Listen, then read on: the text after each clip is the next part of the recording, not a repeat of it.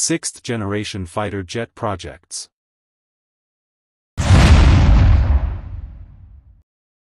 The Mitsubishi FX is a sixth-generation stealth fighter jet project for the Japan Air Self-Defense Force that will enter service in 2030s.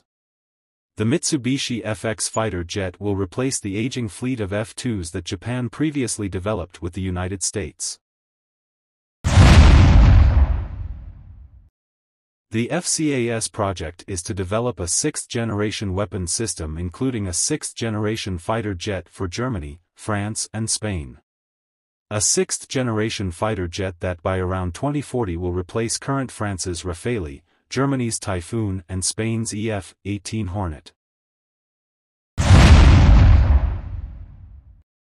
Russia's new sixth-generation stealth interceptor at Mikoyan MiG-41 or PAK-DP will take the skies by 2030, according to reports. According to Izvestia the PAK-DP envisioned to become an interceptor of hypersonic missiles by carrying a multifunctional long-range interceptor missile system. The creation of MiG-41 multifunctional fighter jet is not a single replacement for MiG-31 and is technological revolution.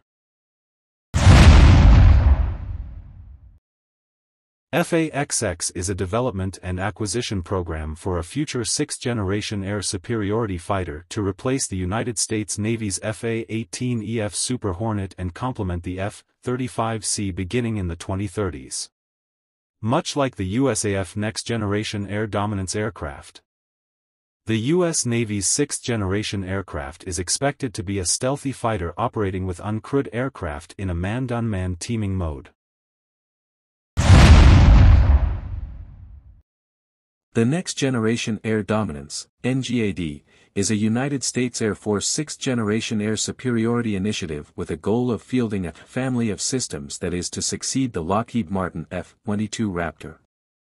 A manned fighter aircraft is the centerpiece program of NGAD and has been referred to as the FX or Penetrating Counter-Air, PCA, and is to be supported by uncrewed collaborative combat aircraft. The NGAD originates from DARPA's Air Dominance Initiative study in 2014 and is expected to field the new fighter aircraft in the 2030s.